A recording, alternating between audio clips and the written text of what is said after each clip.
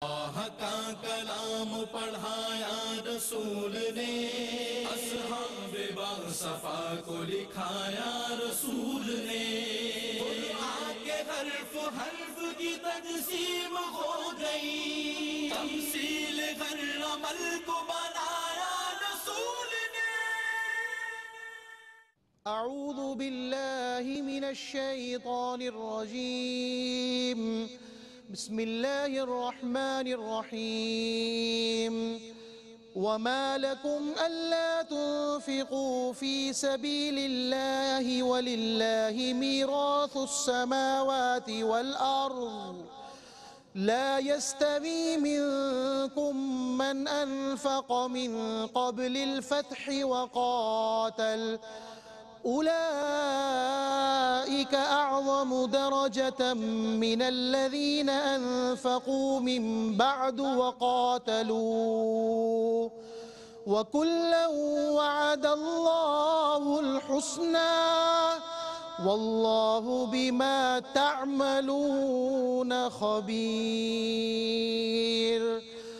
من ذا الذي يقرض الله قرضا حسنا فيضاعفه له فيضاعفه له وله أجر كريم.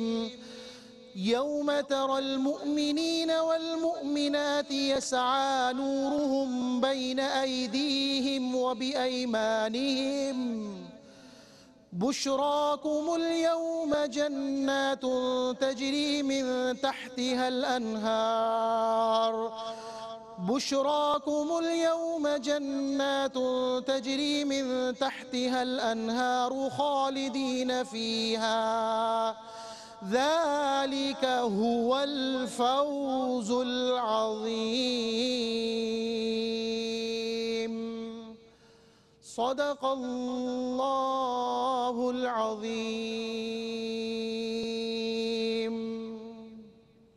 الحمد لله رب العالمين والصلاة والسلام على سيد الأنبياء والمرسلين أما بعد أعوذ بالله من الشيطان الرجيم بسم الله الرحمن الرحيم وما لكم ألا تنفقوا في سبيل الله ولله ميراث السماوات والأرض. لا يستوي منكم من أنفق من قبل الفتح وقاتل. أولئك أعظم درجة من الذين أنفقوا من بعد وقاتلوا وكلا وعد الله الحسنى. والله بما تعملون خبير. صدق الله العظيم. اللهم صل على محمد وعلى آل محمد وبارك وسلم. رب اشرح لي صدري ويسر لي أمري. واحلل عقدة من لساني يفقهوا قولي. واجعل لي وزيرا من أهلي. آمين يا رب العالمين. ناظر کرام السلام علیکم ورحمۃ اللہ وبرکاتہ۔ پروگرام بصیرت القرآن میں آپ کو خوش آمدید کہتے ہیں۔ الحمدللہ، آج پروگرام نمبر نو سو چھہتر آپ کی خدمت پیش کر رہے ہیں۔ انشاءاللہ، آج مطالعہ کریں گے صورت الحدید، آیات دس تا بارہ کا۔ انہی آیات کی تلاوت کے ذریعے حسب معمول قادی سلمان صاحب نے پروگرام کا باقاعدہ آغاز فرما دیا ہے۔ اور ہمیشہ کی طرح آج بھی ہمارے ساتھ ہمارے نوجوان ساتھ اس ریڈیوز میں موجود ہیں۔ آئیوں نے خوش آمدید کہتے ہیں پروگرام شریک کرتے ہیں۔ السلام علیکم ورحمۃ اللہ وبرکاتہ. وعلیکم السلام ورحمۃ اللہ وبرکاتہ. خیریت سے بیٹا؟ اسکول کھل گئے؟ چھٹیاں چل رہی ہیں کراچی میں بھی تک؟ ماشاءاللہ.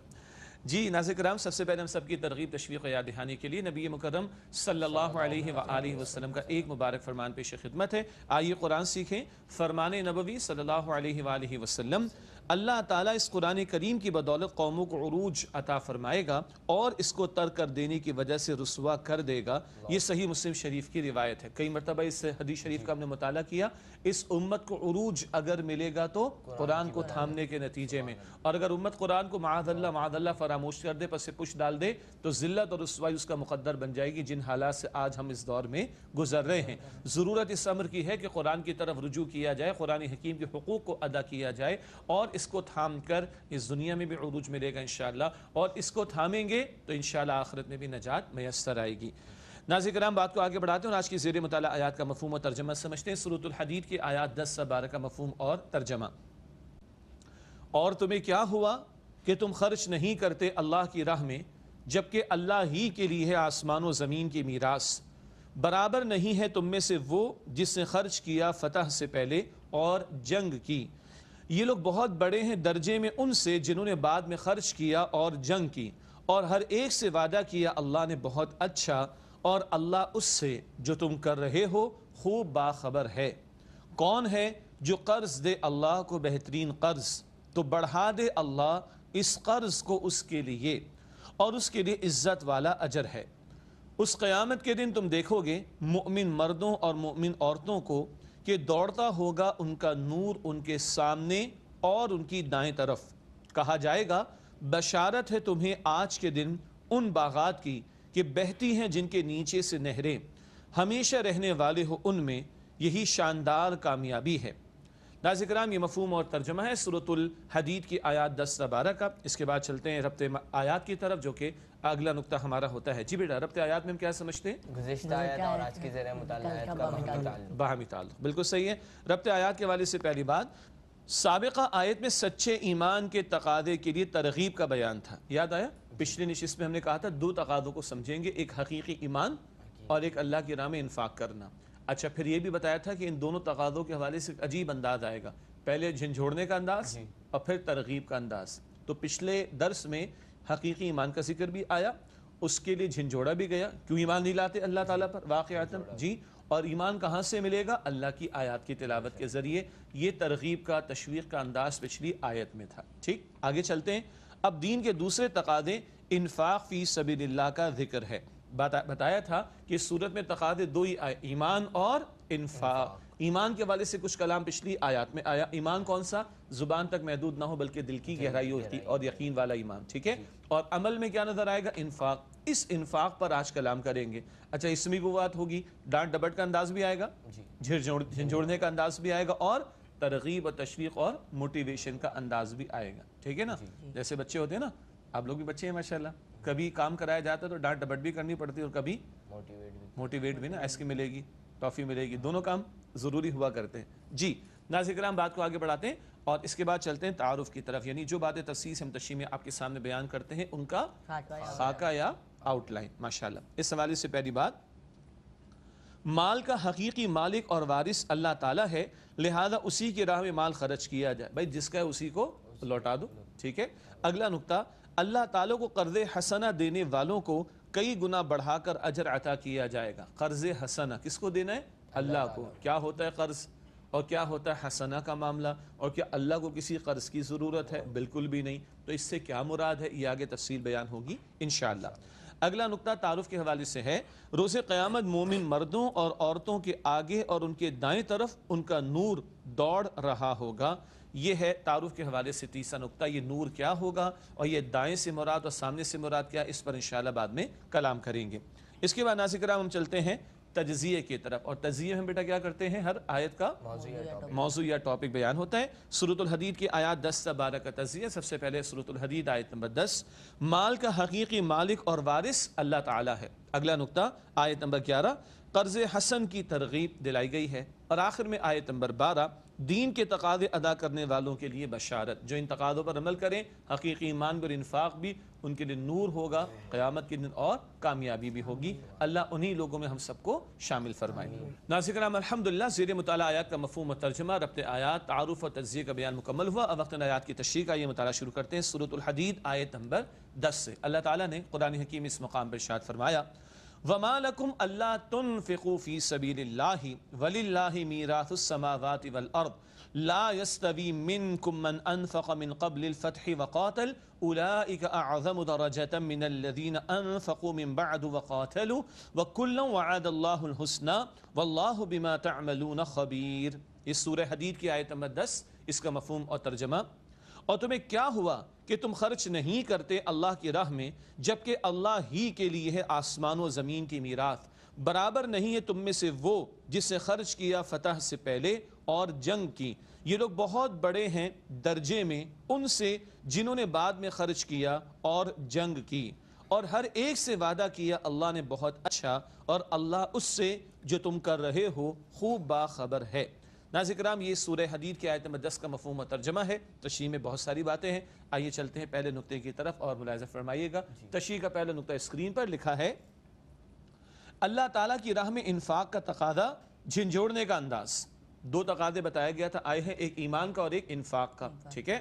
ایمان کے حوالے سے کچھ کلام پچھلی نشست میں ہوا اب انفاق کا بیان آ رہا ہے۔ لیکن اس آیت میں تھوڑا جھنجھوڑنے کا انداز ترغیب بھی آئے گی۔ لیکن اس آیت میں جھنجھوڑنے کا انداز ہے اور اگلی آیت میں ترغیب اور تشویق کا انداز، ٹھیک ہے؟ یہ ترغیب یعنی رغبت دلانا موٹیویٹ کرنا اور تھوڑا خوف دلانا، یہ تربیت کے حوالے سے بڑا اہم اصول ہے۔ جیسے قرآن کریم جنت کی بشارت بھی دیتا ہے اور جہنم کا ڈراوا بھی دیتا ہے۔ دونوں باتیں ساتھ ساتھ چلتی ہیں۔ تو اس آیت میں ذرا جھنجھوڑنے کا انداز، انفاق کرنے کے لیے اور اگلی آیت میں ترغیب کا بیان بھی اور تشویق کا بیان بھی آئے گا انشاءاللہ۔ اگلا نقطہ لوگ اللہ تعالیٰ کی راہ میں مال و دولت کیوں خرچ نہیں کرتے؟ جبکہ ان کے مال کا اصل مالک اور وارث تو اللہ تعالیٰ ہے۔ ہمارا ہے کب بھائی؟ جی تو جس کا ہے اسی کی راہ میں لگاؤ۔ ہے تمہارا ہے کب کہ تم اکڑنے کی کوشش کرو اور بس بناتے رہو، بڑھاتے رہو، جمع کرتے ہی رہو۔ نہ نہ، جس نے عطا فرمایا، اس کی طرف لوٹانے کی بھی، اس کو بھی دینے، اس کی راہ میں خرچ کرنے کی بھی کوشش کرو۔ تو بتایا جا رہا ہے کہ ہے تو سب کچھ اللہ کا تم کیوں راہ خدا میں خرچ کرنے کی کوشش نہیں کرتے؟ اگلا نقطہ دین کی مغلوبیت کے دور میں اللہ تعالیٰ کی راہ میں خرچ کرنے والوں کے درجے فتح کے بعد خرچ کرنے والوں سے بلند ہیں۔ سبحان اللہ ایک دین کا دور ہوتا ہے جب مغلوبیت کا معاملہ اور ایک دور ہوتا ہے جب دین غالب ہو جاتا ہے۔ اور جیسے کہ فتح مکہ کے بعد اللہ کا دین غالب ہو گیا۔ وَرَأَيْتَ النَّاسَ یدخلون فی دین اللہ افواجا۔ لوگ جوک در جوک اس میں داخل ہو رہے ہیں اللہ کے دین میں۔ مگر پہلے تو تھوڑا مغلوبیت کا دور تھا نا۔ تو جب مغلوبیت کا دور ہو دین کا اور اس میں جد و جہد کرنی ہے، محنت کرنی ہے، اس دور میں جو خرچ کریں گے، ان کا اجر و ثواب اور درجہ بعد کے دور میں جو لوگ خرچ کریں گے، ان سے زیادہ ہوگا۔ یہاں اگلا نقطہ نوٹ کیجیے گا۔ اشارہ فتح مکہ کی طرف ہے۔ بتایا گیا جنہوں نے فتح سے پہلے انفاق کیا، خرچ کیا، ان کا درجہ فتح کے بعد خرچ کرنے والوں سے زیادہ ہوگا۔ دور نبوی صلی اللہ علیہ وسلم میں جب فتح کا لفظ استعمال ہو رہا ہے، تو یہاں ایک مراد کیا ہے؟ فتح مکہ کے، جس کے بعد سرزمین عرب پر اللہ کا دین غالب ہو گیا۔ اگلا نقطہ، تاہم فتح کے بعد خرچ کرنے والوں کو بھی اچھا عجر عطا کیا جائے گا۔ اس سے کہ خرچ جو بھی اللہ کی راہ میں کر رہا ہے، مال جو بھی لگا رہا ہے اللہ کی راہ میں اللہ تعالیٰ کے ہاں اجر تو وہ پائے گا لیکن درجہ کس کا بلند ہے جو مغلوبیت کے دور میں خرچ کرے؟ البتہ اجر کا وعدہ پہلے والوں کے لیے بھی اور بعد والوں کے لیے بھی۔ اچھا یہ بتائیے آج ہم اسلام کے حوالے سے دین کے حوالے سے مغلوبیت کے دور میں ہیں یا دین غالب ہو چکا ہے؟ دین غالب ہو چکا ہے۔ غالب ہو چکا ہے؟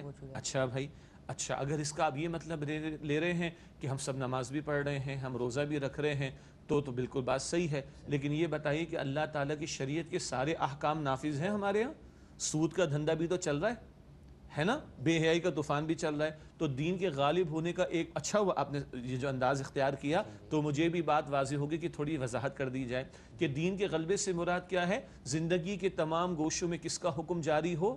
اللہ کا۔ کس کا حکم نافذ ہو؟ اللہ تعالیٰ کا۔ اب بتائیے، کیا ایسا ہو رہا ہے آج تو ایسا نہیں ہے۔ اللہ تعالیٰ کی شریعت کے بہت سارے احکامات پر عمل نہیں ہو رہا۔ قاتل کی سزا کیا ہے؟ قتل کیا جائے گا۔ کیا قاتلوں کو سزا مل رہی؟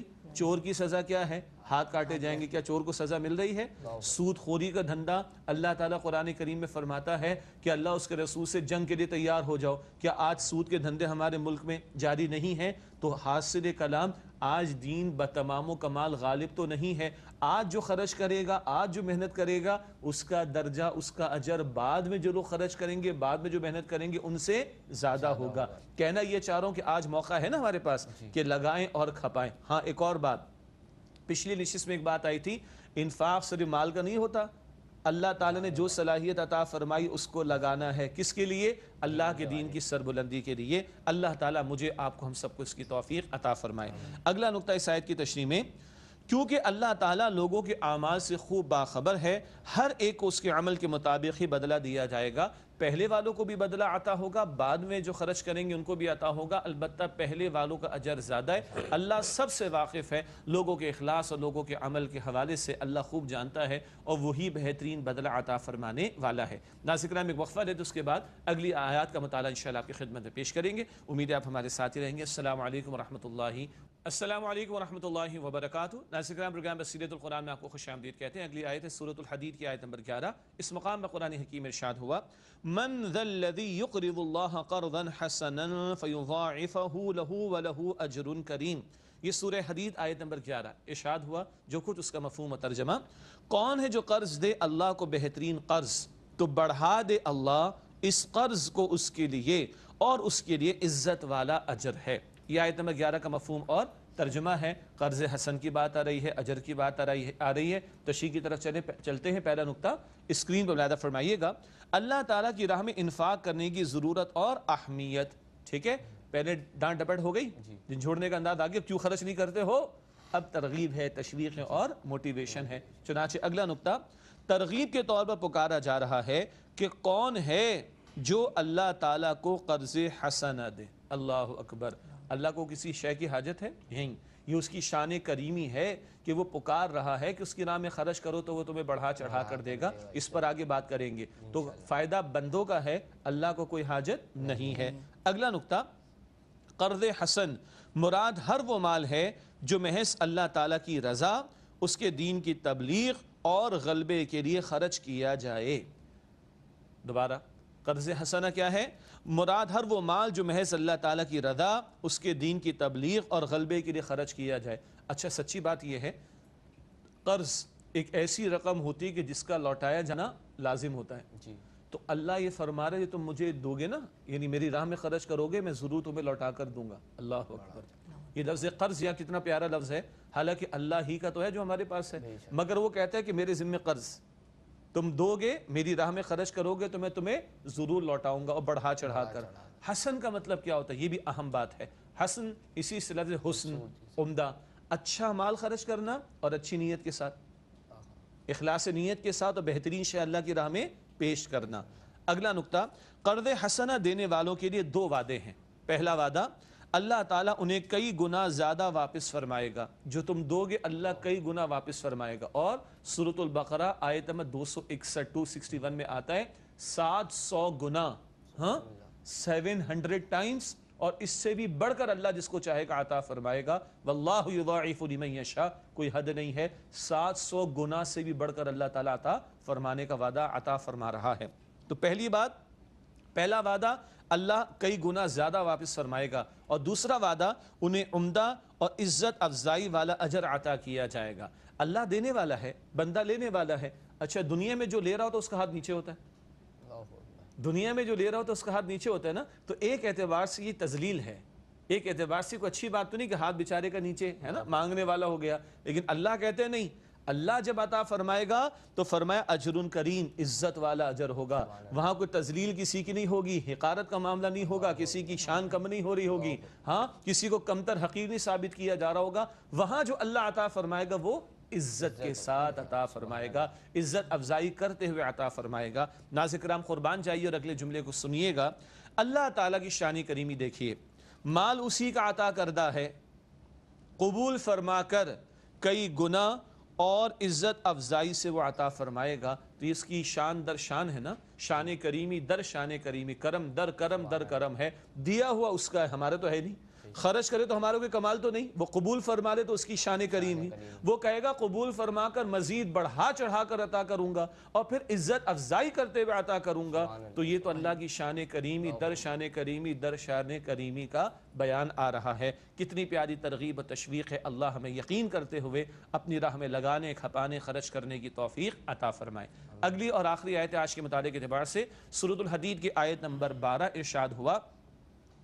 یوم تر المؤمنین والمؤمنات یسعى نورهم بین ایدیہم و بی بایمانہم بشراکم اليوم جنات تجری من تحتی الانہار خالدین فیہا ذالک هو الفوز العظیم یہ سورہ حدید کی آیت نمبر بارہ، اس کا مفہوم اور ترجمہ.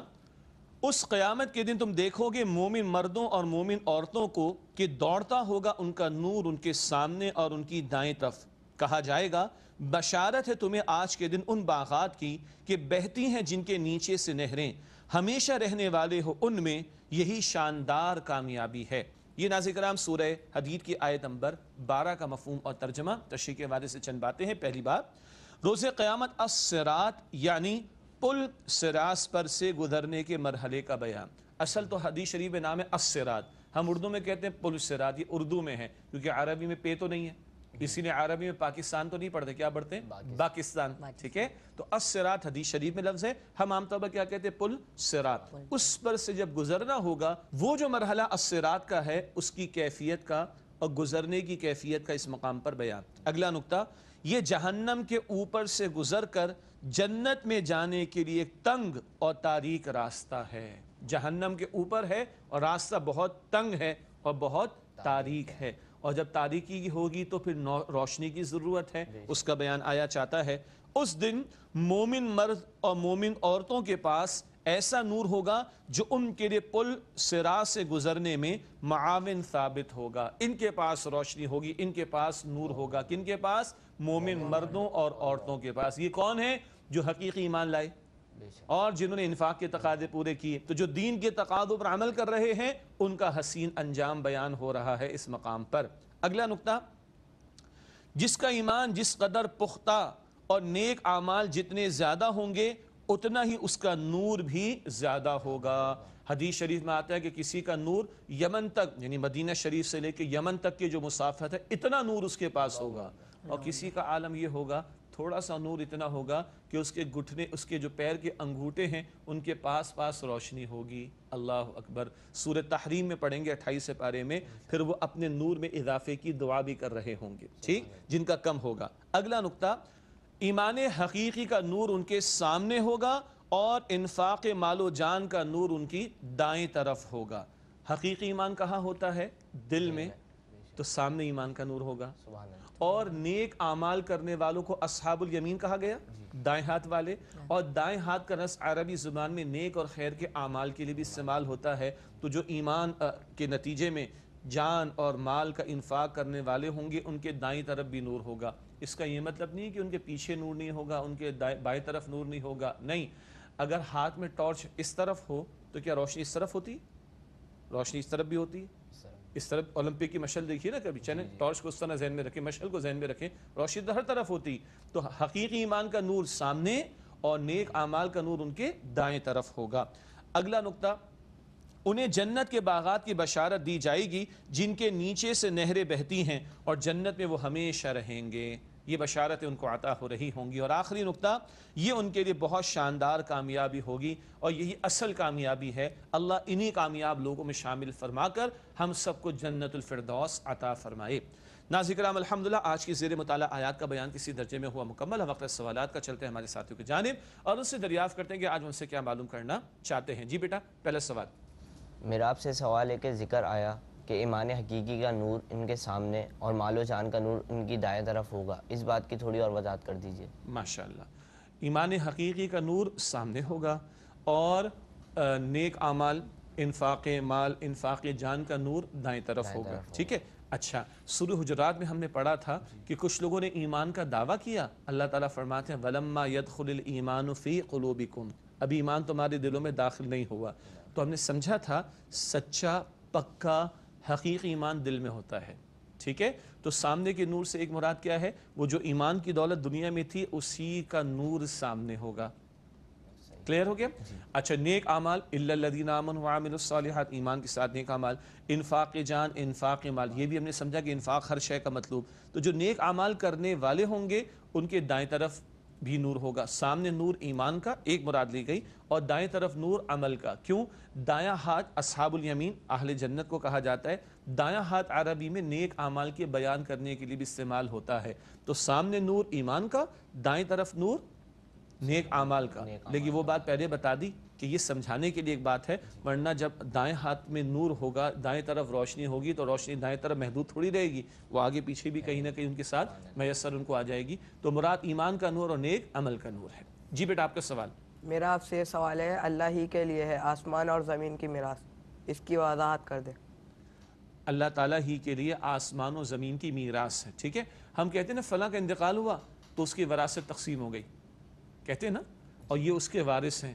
کہتے ہیں نا اچھا ایک شخص کے دادا کا انتقال ہوا تو اس کے ابو کو میراث مل گئی تھی. ابو کا انتقال ہوا تو اس کو مل گئی. اس کا انتقال ہوگا تو اس کے بچوں کو، ان کے بچوں کا انتقال ہوگا. اس کا انتقال ہوگا تو اس کے بچوں کو. جب سب مر جائیں گے تو سارا کس کا ہے؟ تو سارا ہے ہی کس کا؟ وللہ میراث السماوات والارض ساری میراث ساری کائنات کی بادشاہت سارے خزانے کس کے ہیں؟ اصلاً اللہ تعالیٰ کے۔ ہمیں اور آپ کو تو اللہ نے برتنے کے طور پر وقتی طور پر دیا۔ سارے مر جائیں گے بھائی سب کس کا ہے؟ اللہ تعالیٰ کا۔ جی بیٹا آپ کا سوال۔ میرا آپ سے یہ سوال ہے کہ اللہ تعالیٰ کو قرض حسنہ دینے کے بارے میں مزید بیان کر دیجیے اللہ تعالیٰ کو قرض حسنہ دینے کے بارے میں مزید بیان کر۔ بالکل صحیح۔ قرض حسنہ تو سمجھ میں آ گیا نا؟ قرض ایسی رقم جس کو ادا کرنا لازم ہوتا ہے۔ اور حسنہ سے مراد عمدہ۔ کیا مطلب؟ اخلاص کے ساتھ، اچھی نیت کے ساتھ پیش کرنا اور حلال مال اللہ کی راہ میں پیش کرنا۔ ٹھیک ہے؟ اب آپ کا اصل سوال پتہ ہے کیا ہوگا؟ ہم لوگ قرض حسنہ کیسے دیں بھائی؟ ہے نا؟ ہم انفاق کیسے کریں؟ تو ایک بات تو یاد رکھیں کہ انفاق صرف مال کا نہیں ہوتا بلکہ جان کا بھی ہوتا ہے، وقت کا بھی ہوتا ہے، صلاحیتوں کا بھی۔ دوسری بات، اللہ پاکٹ منی ملتی ہے گھر میں؟ تھوڑے پیسے تو ملتے ہیں نا، دس بیس روپے۔ تو کبھی ایسا بھی ہو سکتا ہے نا کہ ہم کچھ اس میں سے بچا کر اللہ کی راہ میں خرچ کر دیں۔ مسجد کے چندہ باکس میں ڈال دیں۔ خیر کا کام کوئی دینی ادارہ کر رہا ہے، اس میں ہم چندہ دے دیں۔ ایک محلے کے بچوں کو ہم نے دیکھا، ابھی عید الفطر گزری نا، تو ریئل لائف بتا رہا ہوں۔ ناظرین ریئل لائف واقعہ توجہ کیجیے گا۔ ان بچوں کی عمر تھی دس سال، گیارہ سال، بارہ سال اور ساڑھے بارہ سال۔ کتنی؟ دس سے لے کے تیرہ سال کے درمیان۔ تو کبھی عید کی جو ہے نا، پکنک، وہ پکنک نہیں بلکہ پارٹی کرتے ہیں اور سب پیسے جمع کریں گے۔ لیکن بھائی بات سنو، تھوڑے پیسے بچائیں گے اور مسجد کی چندہ باکس میں ڈالیں گے۔ کتنی پیاری بات ہے۔ یہ چھوٹے سے بچوں کو سمجھ آ رہی ہے بات۔ ہاں اور یہ بھی اسی عید الفطر کی میں بات کر رہا ہوں۔ تو ہم اپنی پاکٹ منی میں سے بھی کچھ بچا سکتے ہیں اور کبھی دوستوں کو بتا کر ہر بچہ اگر دس دس روپے جمع کر لے دس بچے دس بچے سو روپے تو جمع کر لیں گے نا بیٹا؟ مشکل بات تو نہیں ہے۔ اور حدیث شریف میں کیا تھا ایک کھجور کا دانہ بھی اللہ کی راہ میں دے کر تم اپنے آپ کو جہنم سے بچا سکتے ہو تو وہ کھجور کا دانہ اللہ کی راہ میں دے دو۔ وہ بھائی سو روپے کی آدھا کلو کھجور پاؤ بھر مناسب والی اچھی کوالٹی والی وہ تو آ جائے گی نا اس میں پندرہ بیس دانے تو ہوں گے۔ اللہ اکبر کبیرہ کتنی بڑی بات ہے۔ اللہ ہمیں خرچ کرنے کی توفیق عطا فرمائے۔ ناظر کرام الحمدللہ سوالات اور ان کے جوابات آپ کی خدمت میں پیش کیے گئے۔ پروگرام کے آخری لمحات میں آخری مختصر سیگمنٹس کو شامل کرتے ہیں۔ اس زمین میں سب سے پہلے قرآنی معلومات کا نقطہ نوٹ کیجیے گا۔ آج کا نقطہ یہ ہے حضرت ابوبکر صدیق رضی اللہ تعالی عنہ کے دور میں قرآن کریم ایک کتابی شکل میں جمع کیا گیا۔ ہاں نبی اکرم صلی اللہ علیہ وسلم کے دور میں اکثر صحابہ کرام حافظ تھے اور نمبر دو لکھا بھی جا رہا تھا۔ لیکن کسی کے پاس کچھ حصہ تھا، کسی کے پاس کچھ حصہ تھا، کسی کے پاس کچھ آیات، کسی کے پاس کچھ صورتیں۔ حضرت ابوبکر صدیق رضی اللہ تعالیٰ عنہ کے دور میں ایسے حالات پیش آئے اور ایسی ضرورت پیش آئی کہ اب قرآن کی حفاظت کا یہ اہتمام بھی کیا گیا کہ قرآن کریم کو ایک کتابی شکل میں جمع کر لیں۔ اب یہ ہے تو ایک جملہ، اس کے پیچھے پوری تاریخ ہے۔ علوم القرآن کے موضوع پر۔ علوم القرآن کے موضوع پر جو کتابیں ہوتی، ان میں یہ مضمون تفصیل سے ملے گا۔ تو ایک کتاب جمع کر لیا گیا حضرت ابوبکر صدیق رضی اللہ تعالیٰ عنہ کے دور میں۔ البتہ حضور نبی اکرم علیہ السلام کے دور میں مکمل نازل بھی ہوا۔ حضور علیہ السلام خود پہلے ہی حافظ قرآن تھے، اکثر صحابہ کرام حافظ تھے، اکثر لوگوں کے پاس لکھا ہوا الگ الگ موجود تھا۔ حضرت ابوبکر صدیق رضی اللہ تعالیٰ عنہ کے دور میں کتابی شکل میں قرآن کریم کو جمع کر دیا گیا۔ اس کے بعد ناظر کرام حاصل مطالعہ ریکیپ یا خلاصہ ان باتوں کو جو باتیں تصویر سے تشریح میں آ چکی ہیں۔ پہلی بات، دین کی مغلوبیت کے دور میں اللہ تعالیٰ کی راہ میں مال لگانے والوں کے درجے ان سے بلند ہیں جو غلبہ دین کے بعد یہ سعادت حاصل کریں گے۔ اور آج بھی یہ موقع، یہ سعادت حاصل کرنے کا موقع میرے اور آپ کے لیے موجود ہے۔ اگلا نقطہ حاصل مطالعہ میں، اللہ تعالیٰ کی راہ میں انفاق کرنے والوں کو کئی گنا بڑھا کر لوٹایا جائے گا اور انہیں عزت افزائی والا اجر عطا کیا جائے گا۔ آخری نقطہ روز قیامت مومن مردوں اور مومن عورتوں کا نور ان کے سامنے اور ان کے دائیں طرف ہوگا۔ یاد آ گیا؟ ایمان کا نور سامنے اور نیک عمال کا نور دائیں طرف۔ اس کے بعد ناظر کرام چلتے ہیں جائزے کی طرف۔ تین سوالات آج بھی ہیں جائزے میں۔ سیلف اسسمنٹ ہم کرتے ہیں ٹھیک ہے؟ پہلا سوال کیا ہم غلبہ دین کی جد و جہد کے لیے اپنا مال توانائیاں اور صلاحیتیں اللہ تعالیٰ کی راہ میں لگا رہے ہیں؟ اس امت کو اگر کھڑا کیا گیا تو اس دین کے کام کے لیے۔ یہ کام کرنے والا ہی امتی کہلانے کا مستحق ہے۔ اس کام میں میرا اور آپ کا وقت، آپ کی میری صلاحیت، آپ کی میری توانائی لگ رہی ہے یا نہیں، یہ ہے بہت بڑا سوال۔ اگلا سوال، کیا ہم پل سرات پر سے بآسانی گزرنے کی دعا مانگتے ہیں؟ دعا بھی کرنی ہے دعا بھی کرنی ہے۔ اور نیک اعمال کا نور اور ایمان کا نور ہوگا تو کل وہاں روشنی ہوگی اور اس تاریکی میں سے گزر سکیں گے انشاءاللہ تعالی۔ اگلا سوال، کیا ہم اللہ تعالیٰ کے وعدوں کا یقین رکھتے ہوئے کل کی ہمیشہ کی زندگی کی تیاری کر رہے ہیں؟ ذرا سی موسم کی فورکاسٹ آ جائے نا، بارش ہونے والی ہے تو انتظام پہلے سے کرتے ہیں۔ ذرا سا کچھ اور فورکاسٹ آ جائے، طوفان آنے والا ہے اور جو لوگ ساحل پر، ساحل کے قریب رہتے ہوں تو سب اہتمام کرتے ہیں۔ اللہ جو کچھ فرما رہا ہے، یہ یقین سے بڑھ کر بات ہے، کیا اللہ کے یقینی وعدوں پر یقین رکھتے ہوئے ہم آخرت کی تیاری کر رہے ہیں کہ نہیں کر رہے ہیں؟ آخری دو سوال پیش خدمت ہیں یعنی گزشتہ سوال کا جواب اور آج کے سوال کا اگلا سوال جو آج ہم پیش کریں گے۔ گزشتہ سوال کا جواب یہ ہے، سورة المائدہ کی آیات ایک کا ساٹھ میں سے کس آیت میں یہود کا کلام الہی کی باتوں کو بدل دینے کا ذکر ہے؟ درست جواب ہے سورة المائدہ آیت نمبر اکتالیس۔ جس میں یہ ذکر ہے کہ یحرفون الکلیم مواضعہ وہ باتوں کو ان کے موقع محل سے بدل دیتے ہیں۔ یہ کتاب الہی میں تحریف اور تبدیلی کس نے کی تھی؟ یہود نے۔ سورہ مائدہ آیت نمبر اکتالیس میں یہ نقطہ موجود ہے۔ آج کا سوال نوٹ کیجیے گا۔ سورۃ المائدہ کی آیات ایک تا ساٹھ میں سے کس آیت میں ذکر ہے کہ جو لوگ اللہ تعالیٰ کے نازل کردہ کلام کے مطابق فیصلے نہیں کرتے، وہی ظالم ہیں۔ آج کا سوال سورۃ المائدہ کی آیات ایک تا ساٹھ میں سے کس آیت میں ذکر ہے کہ جو لوگ اللہ تعالیٰ کے نازل کردہ کلام کے مطابق فیصلے نہیں کرتے، وہ ظالم ہیں؟ درست جواب اگلے پروگرام میں انشاءاللہ آپ سے شیئر کریں گے اور اسی کے ساتھ چاہیں گے آپ سے اجازت۔ آپ تمام ساتھیوں کا بہت شکریہ۔ اللہ آپ کو جزائے خیر عطا فرمائے۔ ناظر کرام ہم سب کو، ہمارے قاضی صاحب کو، ہماری پوری ٹیم کو، تمام تعاون کرنے والوں کو، کیو ٹی وی کی انتظامیہ کو اور تمام مسلمانوں کو اپنی دعا میں یاد رکھیے۔ اے اللہ سبحانہ و تعالی ہم سب کو آخرت کا یقین عطا فرما۔ اور اللہ، آج نور ایمان اور نور عمل تلاش کرنے اور مزید اس کو بڑھانے کی توفیق عطا فرما اور کل کی ذلت اور رسوائی سے ہم سب کی حفاظت فرما۔ آمین یا رب العالمین۔ وآخر دعوانا ان الحمدللہ رب العالمین۔ والسلام علیکم ورحمۃ اللہ وبرکاتہ۔ اللہ کا کلام پڑھایا رسول نے، اصحاب باصفا کو لکھایا رسول نے۔ قرآن کے حرف حرف کی تجسیم ہو گئی۔ تمثیل غر عمل کو بنایا رسول